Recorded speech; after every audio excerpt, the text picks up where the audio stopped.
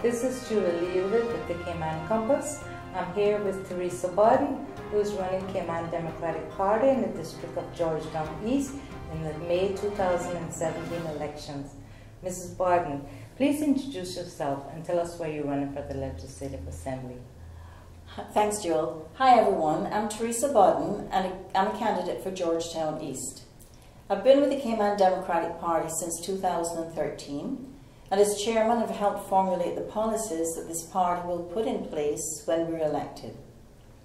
The CDP asked if I would be one of the candidates in the upcoming election, and it seemed to be the right thing to do at this time, as it will ensure that I can be instrumental in giving the country the help that we as a party have promised.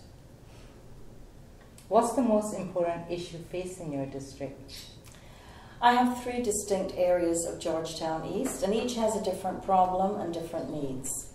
One is an affluent area concerned about crime, protection of the environment, and maintaining our position as a safe place for business. Another section is concerned about jobs, education, and the rising cost of small businesses and the rising cost of healthcare. The last section is concerned about keeping their homes, keeping their jobs, and finding enough money to raise their families with dignity.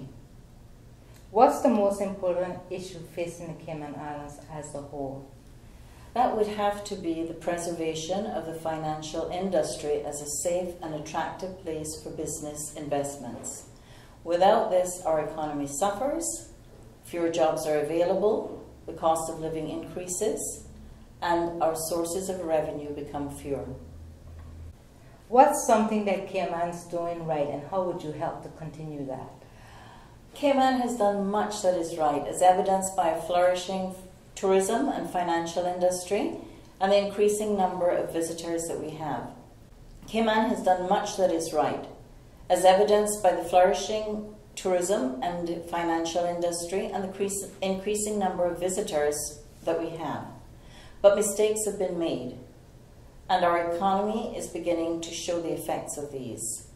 The mistakes must be corrected if we hope to maintain our successful position.